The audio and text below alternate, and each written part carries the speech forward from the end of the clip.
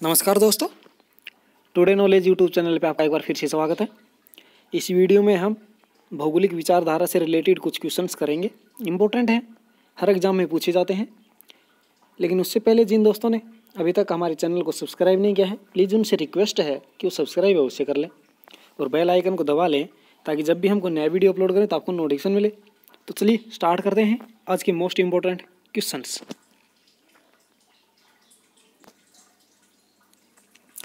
Ptolemy का सर्वोत्तम ज्ञात कार्य द सिंथेटिक्स है। यह किस भाषा के शब्द से शीर्षक ई मैजिस्टी से निकला है, जिसका तात्पर्य ग्रेट सिंथेसिस अर्थात महान संश्लेषण है। अरबी भाषा के शब्द से। टोलमी की दूसरी महत्वपूर्ण रचना दी ज्योग्राफी है, जिसे कहते हैं भूगोल की गाइड क्या कहते हैं इसको? भूगोल की गाइड अलेक्जेंडर वान हम्बोल्ट का जन्म कब और कहाँ हुआ? सत्रह सौ उनहत्तर में बर्लिन में। मूल रूप से जर्मनी के निवासी हैं। सत्य कथन है हम्बोल्ट ने वनस्पति भूगोल की अलग शाखा के रूप में स्थापना की। ये भी सही है। उनका यह विचार, जहाँ वर्षा अधिक है, वहाँ वन वनस्पति की भी दिखता है, अभी भी महत्वपूर्ण माना जाता है। ये भी सही है। महाद्वीपीयता की अवधारणा हम्बोल्ट की देन है। ये भी सही है। हम्बोल्ट ने भौगोलिक अध्ययनों में किन विधियों, यानी कि विधि तंत्र को अपनाया। आनुभविक विधि, क्रमबद्ध विधि और तुलनात्मक विधि। इन तीनों ही विधियों का उसने अपने भौगोलिक अध्ययन में प्रयोग किया था। भूगोल के संदर्भ में हम्बोल्ट ने किस शब्द का प्रयोग किया? सृष्टि वर्णन शब्द का। किस शब्द का प्रयोग किया था? सृष्टि वर्णन का। हिमावलित यानी कि परमाफ्रोस्ट शब्दावली का सर्वप्रथम प्रयोग किसने किया? हम्बोल्ट ने। आधुनिक वैज्ञानिक युग के एक संस्थापक, कार्ल रिटर का जन्म कब और कहाँ हुआ? सत्रह सौ उनासी ईस्वी में जर्मनी में। कहाँ हुआ था? सत्रह सौ उनासी ईस्वी में जर्मनी में। निम्न में से कार्ल रिटर की रचना का सही सुमेलित युगम है यूरोप। भौगोलिक, ऐतिहासिक व सांख्यिकीय चित्रण 1804 ईस्वी में। ये भी सही है। यूरोप की धरातलीय प्रकृति एवं आर्थिक संसाधनों पर यूरोप के छह मानचित्र 1807 ईस्वी में प्रकाशित। ये भी सही है। यूरोप के भूगोल का द्वितीय खंड 1807 ईस्वी में प्रकाशित। ये भी सही है। यानी कि उपयुक्त सभी कथन सत्य हैं। निम्न में से कार्ल रिटर की रचना का सही सुमेलित युगम है। भौगोलिक ग्रंथ अर्डकुंडे का प्रथम खंड अफ्रीका महाद्वीप 1817 ईस्वी में प्रकाशित, ये भी सुमेलित है। अर्डकुंडे का द्वितीय खंड एशिया महाद्वीप 1818 ईस्वी में प्रकाशित, ये भी बिल्कुल सुमेलित है। पृथ्वी के संसाधन 1836 ईस्वी में प्रकाशित, ये भी बिल्कुल सही है। तो इसमें सभी बिल्कुल सुमेलित हैं। किसने भूगोल के लिए अर्धकुंडे शब्द का प्रयोग किया था? कारल रिटर ने। किसने किया था अर्धकुंडे शब्द का प्रयोग भूगोल के लिए? कारल रिटर ने। किसने यह सिद्ध करने का प्रयास किया कि पृथ्वी का निर्माण मनुष्य के लिए हुआ है? कारल रिटर ने। पृथ्वी एवं उसके निवासियों में घनिष्ठ संबंध है। किसी एक तत्व का अन्य तत्वों के अभाव में अध्ययन नहीं किया जा सकता है। यह कथन किसका है?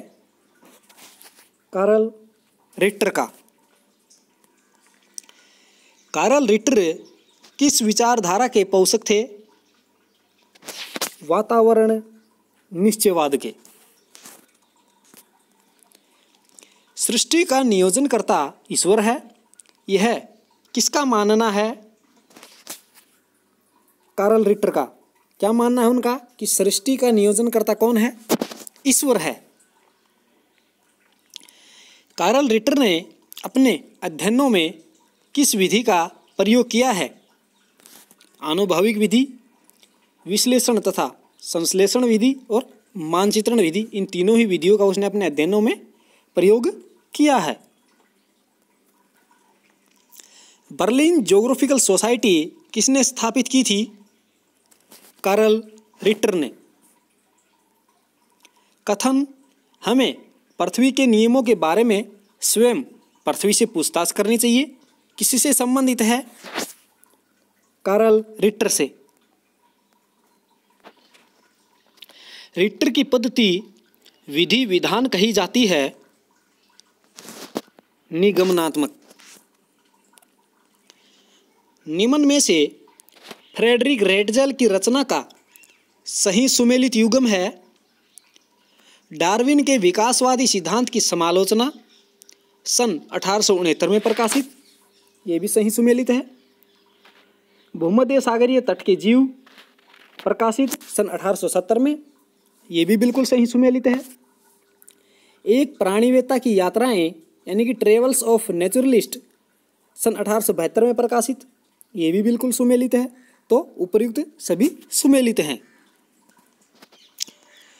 निम्न में से फ्रेडरिक रेडजल की रचना का सही सुमेलित युगम है। उत्तरी अमेरिका का भौतिक एवं सांस्कृतिक भूगोल दो खंडों, सन अठारह सौ अठहत्तर और सन 1880 में। बिल्कुल सही है।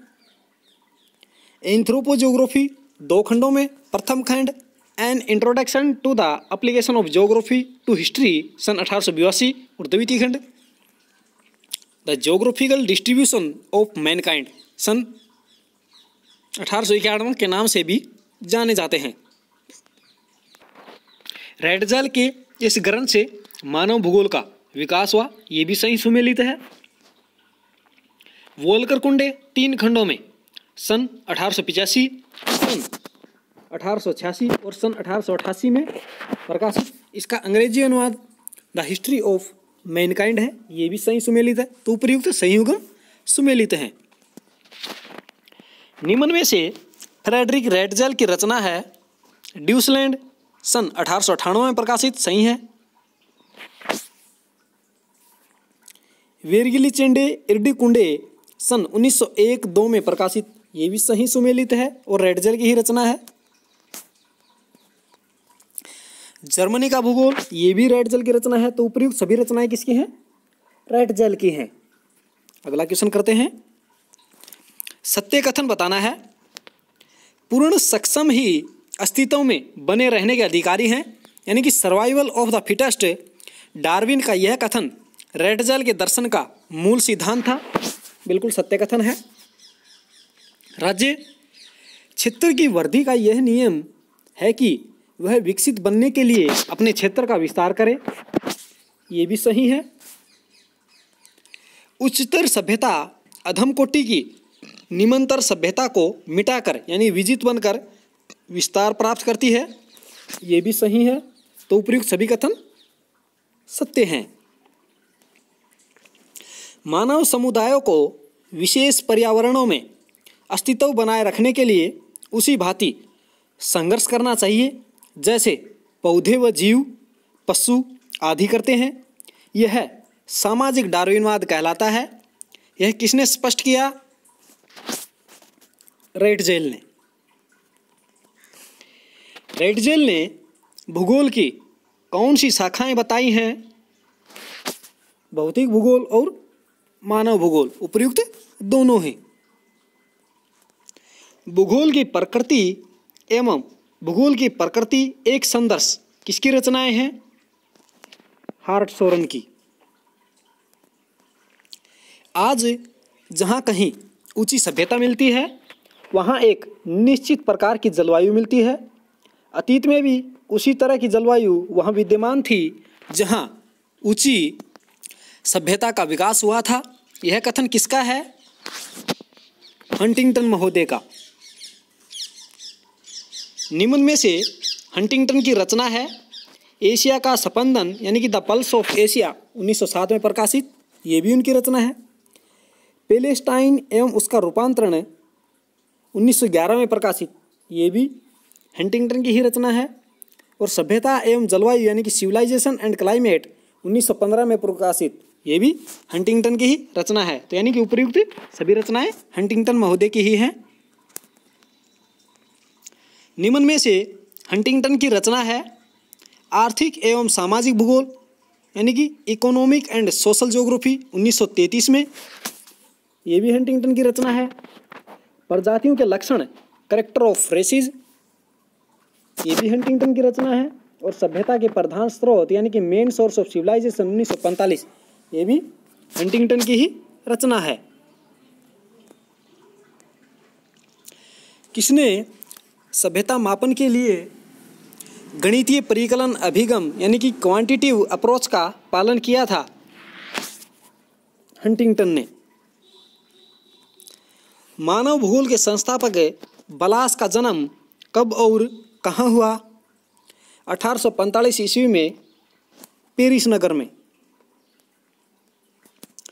निम्न में से बलास की रचना है यूरोप के राज्य एवं राष्ट्र अठारह नवासी ईस्वी। ये भी बलास की रचना है। वार्षिक ग्रंथमाला, यानी कि एटलस जनरल वाइडल लाबलाचे का पहला संस्करण प्रकाशित अठारह सौ इक्यानवे में ये भी सही है। और यूरोप की मानचित्रावली, यानी कि एटलस जनरल वाइडल लाबलाचे अठारह सौ चौरानवे ईस्वी में प्रकाशित, ये भी तो उपयुक्त सभी बिल्कुल सही हो जाएँगे। अभिनव फ्रांस में नवीन भूगोल के विकास का श्रेय एकमात्र भूगोलवेता को है, और वो है बलास महोदय। निम्न में से बलास की रचना है पूर्वी फ्रांस का भूगोल 1917 ईस्वी। बिल्कुल सही है।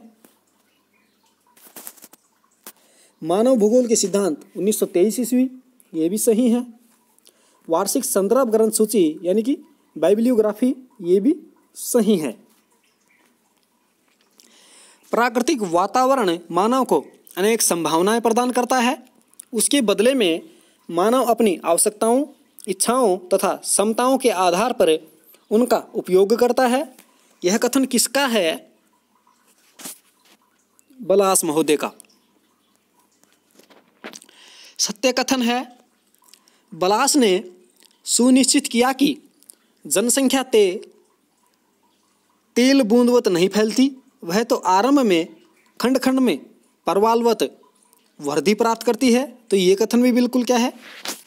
सत्य है।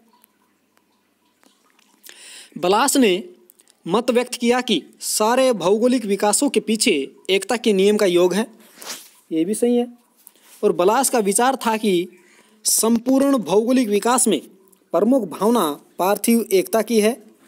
ये भी सही है। तो उपयुक्त सभी कथन सत्य हैं। कार्ल सावर का जन्म कहाँ हुआ था? संयुक्त राज्य अमेरिका में। सांस्कृतिक भूगोल का अग्रणी विद्वान माना जाता है कार्ल सावर को। कार्ल सावर ने सर्वप्रथम सन 1925 में क्षेत्रीय विभिन्नता, यानी कि एरियल डिफ्रेंशिएशन शब्द का प्रयोग किया। बाद में किसने इसकी विशद व्याख्या की थी? हार्ट सोरन ने। संभववाद शब्द का प्रयोग सर्वप्रथम किस फ्रांसीसी विद्वान ने किया था? लुसियन फेब्रे ने। तो दोस्तों, ये थे आज के मोस्ट इंपॉर्टेंट क्वेश्चंस फ़िलहाल इस वीडियो में इतना ही। धन्यवाद।